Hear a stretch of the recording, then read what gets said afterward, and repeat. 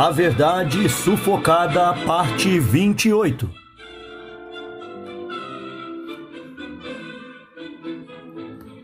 Movimento Estudantil.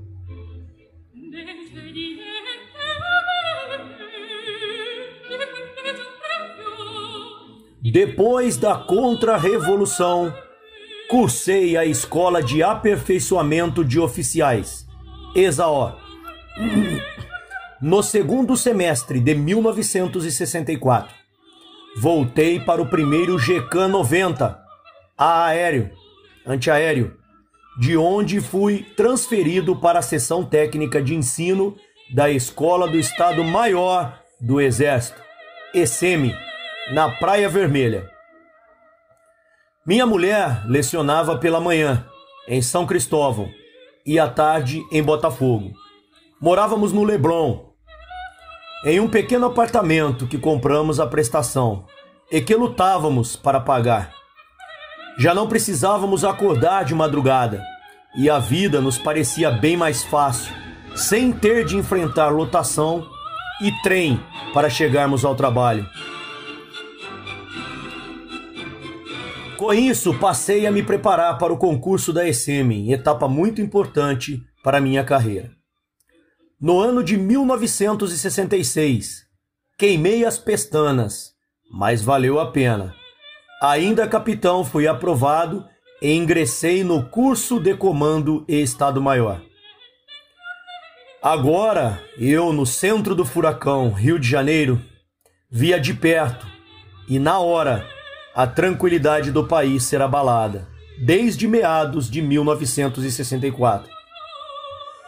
Além das peripécias que Brizola comandava diretamente de Montevidéu, frequentemente tomávamos conhecimento por jornais, rádios, nas aulas ou em conversas com companheiros do que se passava no país. E esses fatos não eram alentadores. O movimento estudantil estava no auge.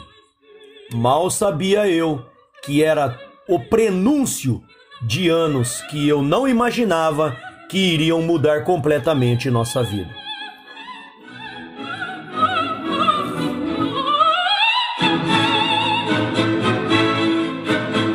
União Nacional dos Estudantes, UNE.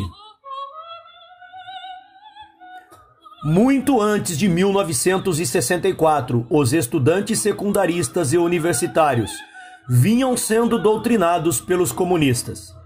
As organizações clandestinas sempre procuraram colocar esses jovens estudantes no meio das crises, para tentar iniciar com eles a desestabilização dos governos, já que a repressão provocada pelos agitadores ia ao encontro dos seus interesses e causava indignação contra o governo.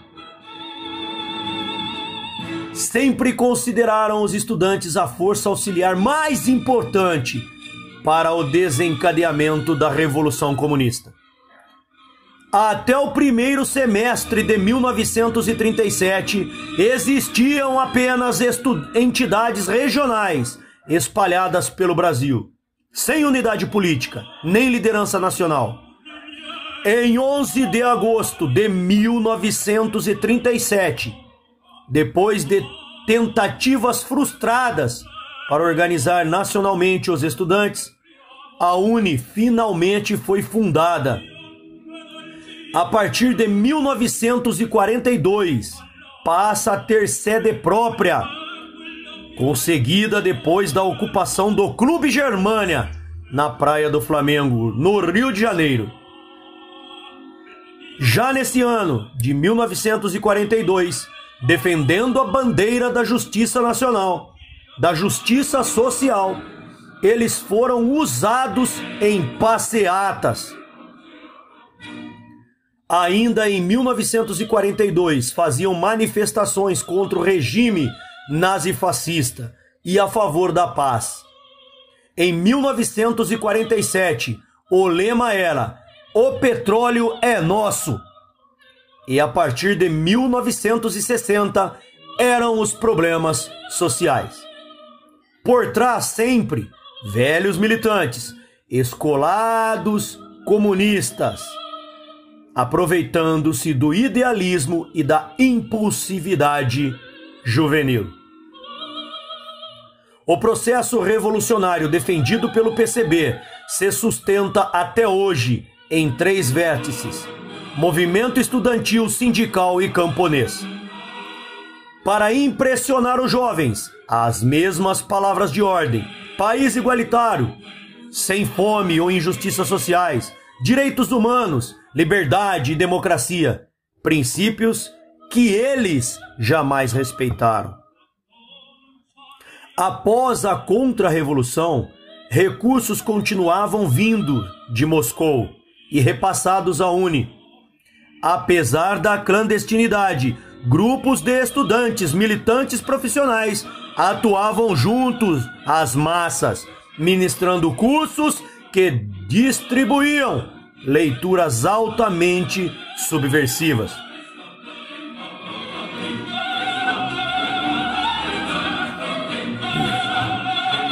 A influência de Che Guevara, Fidel Castro e sua revolução era cada vez maior no meio estudantil.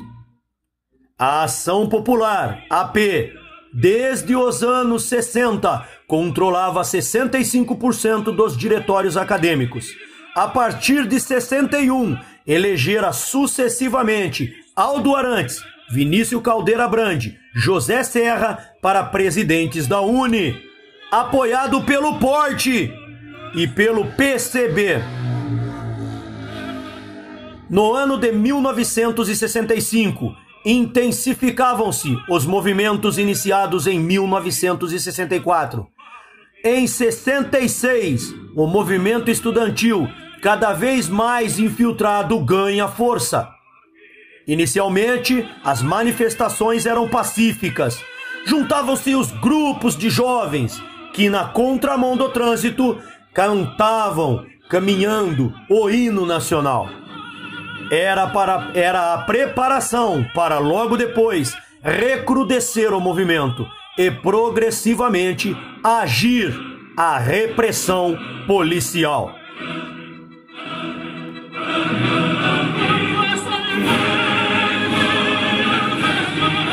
No ano de 1965, intensificaram-se os movimentos iniciados em 64. E em 66, o movimento estudantil, cada vez mais infiltrado, ganha força. Inicialmente, as manifestações eram pacíficas. Juntava-se grupos de jovens que, na contramão do trânsito, caminhavam cantando o hino nacional. Era preparação para logo depois recrudescer o movimento e progressivamente reagir à repressão policial. Em março de 66, a atuação policial contra uma passeata em Belo Horizonte desencadeou movimentos de apoio em São Paulo, Rio de Janeiro, Curitiba e Vitória. Em meados de 1966, a Uni realizou em Belo Horizonte seu 28º congresso nos porões do convento dos padres franciscanos. 300 delegados elegeram Luiz José Luiz Moreira Guedes, presidente, continuando sob o domínio da AP. Em setembro, uma greve geral paralisou as universidades brasileiras. Ainda em 1966, as dissidências universitárias com o PCB provocaram desligamento das mesmas deste partido. O controle do movimento estudantil da Guanabara passou para as lideranças que defendiam a luta armada. A respeito, Vladimir Palmeira, dirigente estudantil de destaque na época, no livro A Esquerda Armada no Brasil, de Antônio Caso, dá o seguinte depoimento, páginas 28 e 32. Abre aspas.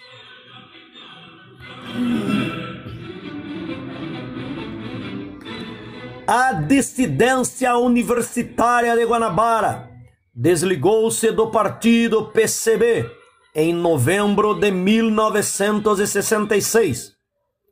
Passamos então a ser conhecido como Dissidência Comunista da Guanabara, convertendo-nos em uma organização política independente, como uma definição orientada para a luta armada, mas com uma visão ainda bem pouco clara do que era a realidade brasileira. Em resumo, no ano de 66, marca a afirmação de nossa dissidência do PCB, a realização pela primeira vez de grandes manifestações de massas e o controle sigue pela esquerda do movimento estudantil da Guanabara. No ano de 1968, marcou de resto o aparecimento das ações armadas efetivas da guerrilha urbana brasileira realizaram-se neste ano as primeiras expropriações de dinheiro e de armas. Foram feitas por duas organizações, Vanguarda Popular Revolucionária, VPR, e Ação Libertadora Nacional, ALN. Fecha aspas. De 29 de junho a 11 de julho de 66, a AP enviou o militante José Fidelis Augusto Sarno à quarta Conferência Latino-Americana de Estudantes, CLAE, realizada em Havana. O militante também da AP, José Jarbas Diniz Cerqueira, foi designado representante permanente da UNE na recém-criada Organização Continental Latino-Americana de Estudantes, OCLAI, com sede em Havana. No primeiro semestre de 1967, proliferam os seminários promovidos pela UNE. No segundo semestre, as greves foram a tônica do movimento estudantil. O acontecimento mais importante deste ano foi a passeata com mil estudantes no centro do Rio de Janeiro. No dia 25 de outubro, convocada por Vladimir Palmeira, presidente da União Metropolitana dos Estudantes Secundarista, UMES, motivação: reivindicar melhores condições para o calabouço, restaurante mantido pelo governo para os estudantes carentes. Durante a passeata, as palavras de ordem foram: o povo organizado derruba a ditadura. E Guevara, herói do povo. O movimento estudantil, com essa aparente calmaria, preparava-se para 68. Nesse ano, uma geração nascida após a Segunda Guerra Mundial declarou outra batalha em todo o mundo contra a sociedade Parecia que o mundo inclinara-se para a esquerda.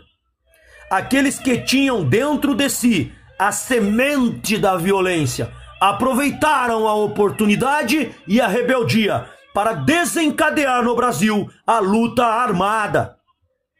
Vários movimentos marcaram o um ano, levando muitos jovens à clandestinidade.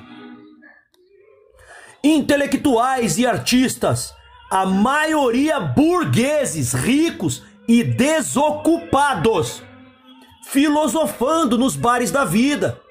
Começaram a tomar ares de revolucionário e comodamente passaram por meios de peças, músicas e artigos a insuflar os jovens. O destaque do ano em matéria de enfrentamento foi sem dúvida o movimento estudantil apesar de outros movimentos e organizações também buscarem, de forma violenta, a desestabilização do governo, como veremos mais adiante.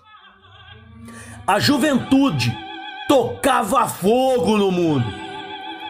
Eram influências sérias. A Revolução Chinesa de Mao Tse Tung, as barricadas de Paris com Band, Na América Latina, o movimento estudantil fervia. No Uruguai e no México, nas matas da Venezuela, Guatemala, Bolívia, as guerrilhas com modelo cubano estavam no auge. E talvez a principal influência para os jovens era a figura carismática de boininha preta, com estrela vermelha, ar de aventureiro, olhar enigmático, a imagem do guerrilheiro Che Guevara. Já era de se esperar, portanto, que uma juventude trabalhada desde seus 15, 16 anos nas escolas secundárias partisse para a radicalização. Naquela época, duas dezenas de organizações subversivos terroristas atuavam ativamente no movimento estudantil, planejando e dirigindo manifestações de rua. As mais atuantes eram 1. Um, Ação Popular, AP. Líderes: Jean-Marc Der, e Luiz Gonzaga Travassos, da Rosa. 2. Dissidência da Guanabara, DIGB. Líderes: Vladimir Pereira, Franklin de Souza Martins e Carlos Alberto Vieira Muniz. 3. Ala Marighella, Futura Ação Libertadora Nacional, ALN. Líder: José Dirceu de Oliveira e Silva. E 4. Partido Comunista Brasileiro Revolucionário, PCBR. Líderes: Marco Antônio da Costas Medeiros e Elinor Mendes Brito.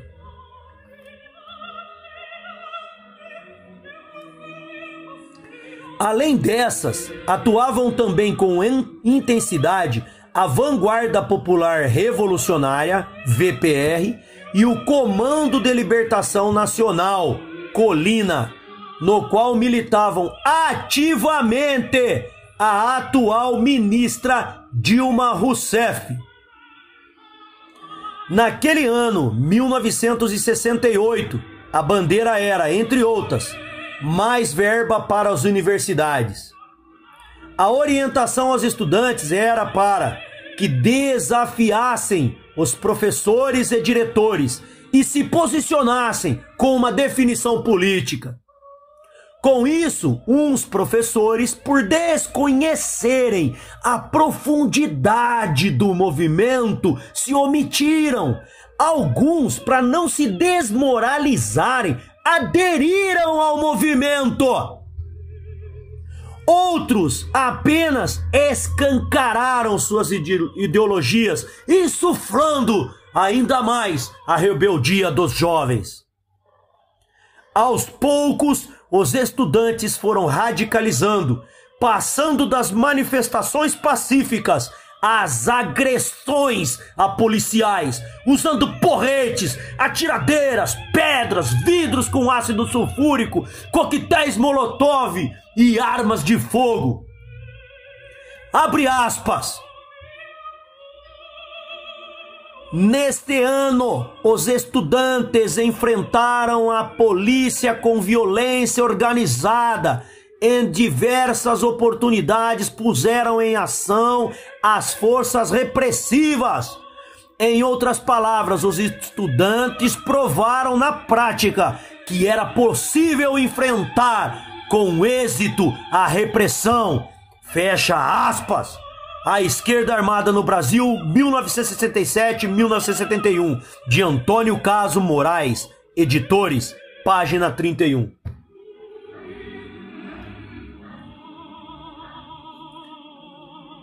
Em 13 de março de 1968, ocorreram passeatas com depredação de bancos, carros e lojas em São Paulo, e dia 14 em Recife.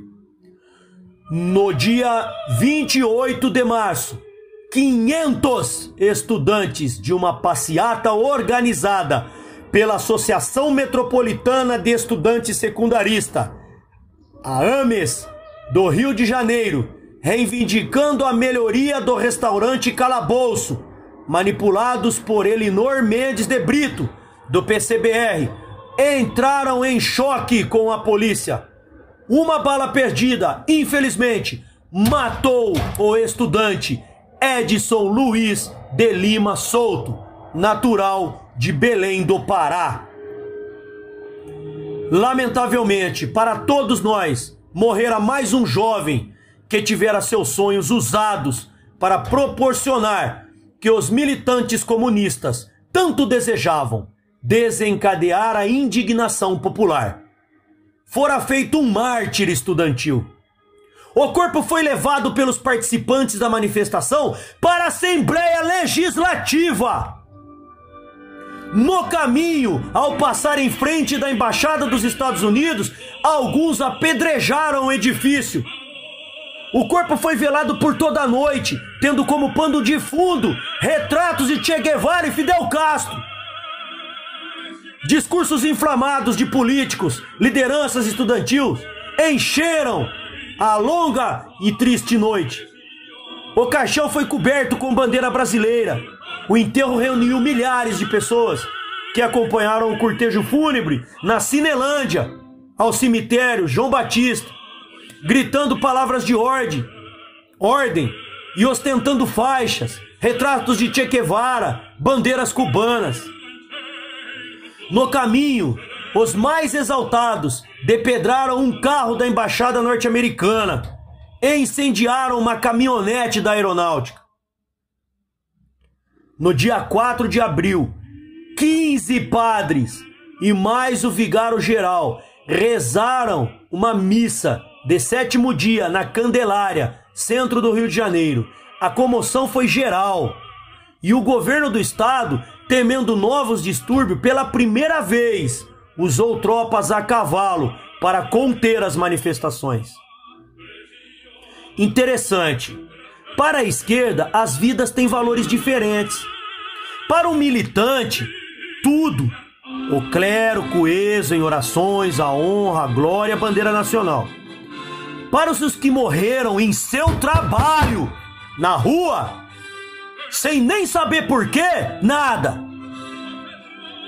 O vigia Paulo Macena, um trabalhador desempregado, desempenhando, perdão, Paulo Macena, um trabalhador desempenhando sua humilde função, morto pela explosão da bomba Cine Bruni, lá no Cine Bruni, colocada como protesto contra a lei Suplicy.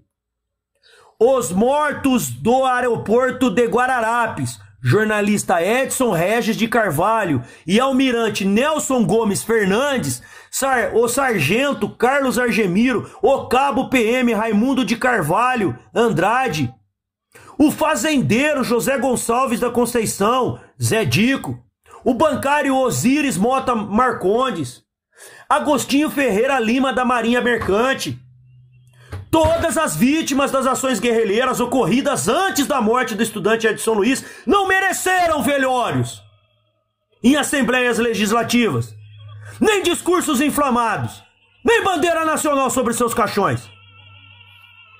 E se não fosse a dor de suas famílias e de seus amigos, nem mesmo em uma cerimônia religiosa eles seriam lembrados.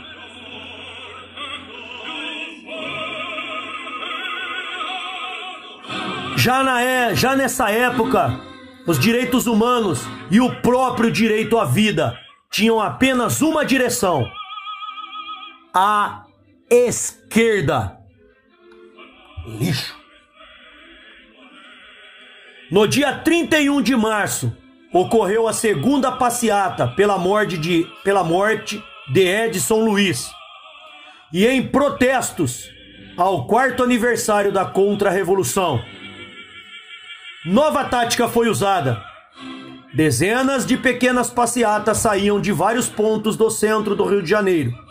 E os participantes, armados de porretes e atiradeiras, depedraram lojas, carros e bancos, chegando ao enfrentamento direto com a polícia militar. Saldo: dois civis mortos David de Souza Meira, funcionário da Companhia da Navegação Costeira, na Avenida Nilo Peçanha. E Jorge Aprígio de Paula, operário, morto quando um dos grupos de manifestantes tentava invadir a residência do ministro da Guerra, na Rua General Canabarro. Dezenas de policiais ficaram feridos. No início de junho, ainda no Rio de Janeiro, pequenas passeatas em Copacabana e no centro da cidade anunciavam o que teríamos pela frente: as jornadas de junho.